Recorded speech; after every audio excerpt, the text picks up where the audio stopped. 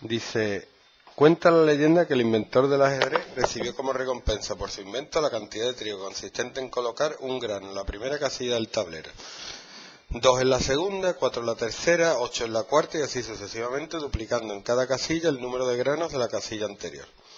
¿Cuántos de granos de trigo habría que depositar en la casilla número 27? Expresa el resultado en notación científica. ¿Cuántas casillas tiene un tablero de ajedrez? ¿Qué? ¿Oso por oso?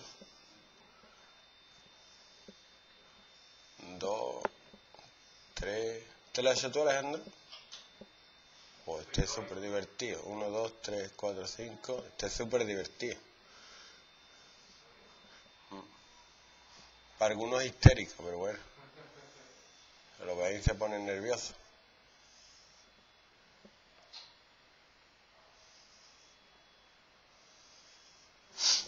Entonces dice, un grano en la primera casilla, dos en la segunda, cuatro en la tercera, ocho en la cuarta. Y así sucesivamente duplicando en cada casilla el número de granos de la casilla anterior.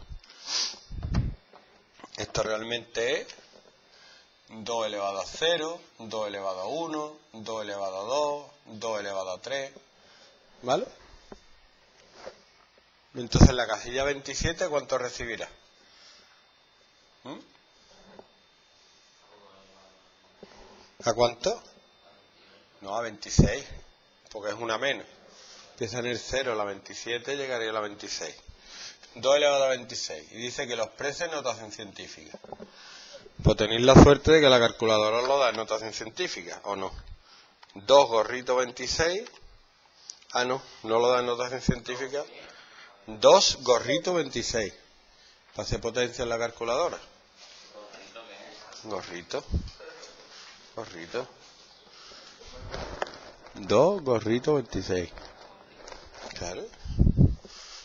Esa es la notación que ponen en la calculadora para para esto. 2 gorrito 26. Un gorrito. 67. Es lo mismo. 67. Sí, que si le das al igual te lo hace, ¿no? ¿No? ¿El qué? que se multiplica la mitad del número que quieres obtener, en este caso 27. Es una paranoia. Y multiplica 14 por 14 obtienes el 27. No. Sí. no. La casilla 14 por la 14. Ah, claro, claro.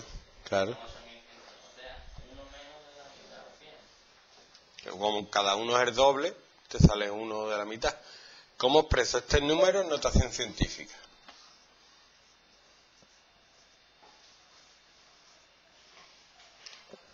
En notación científica, la regla es que que dejar un número distinto de cero a la izquierda de la coma. O sea que la coma la tendré que poner.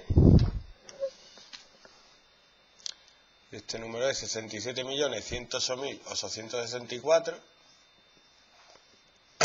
La coma la tendré que poner aquí.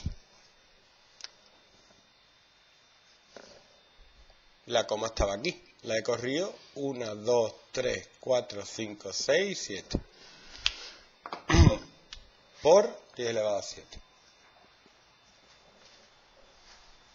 ¿Qué? Bueno. Dice, ¿cuántos granos de trigo se depositaron en la casilla? Número 64. Expreso también resultado en notación científica. 2 elevado a 63. Esto sí que te lo va a dar notación científica porque es un número demasiado grande. 2 elevado a 63 te lo da ya la calculadora. 9,22 hay que redondear. Es 9223, entonces el 3, como es menor que 5, me quedo con el 2. Por 10 elevado a 18. Dice, suponiendo que en 100 gramos de trigo hay 2.500 granos, ¿cuánto pesará el trigo de la casilla 64? Toma ya, expresa el resultado en notación científica. Para eso tengo que hacer una reglita de 3, simple. Simple, que los números sean grandes.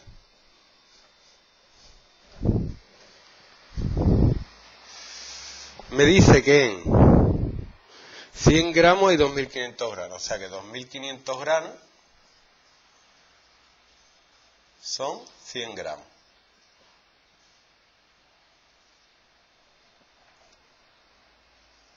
Entonces si tengo 9,22 por 10 elevado a 18 gramos, tendré X gramos. Entonces X sería 9,22 por 10 elevado a 18 por 100 partido 2500.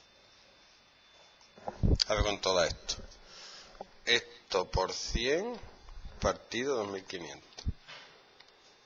Son 3,69 redondeando por 10 elevado a 17. Toma ya.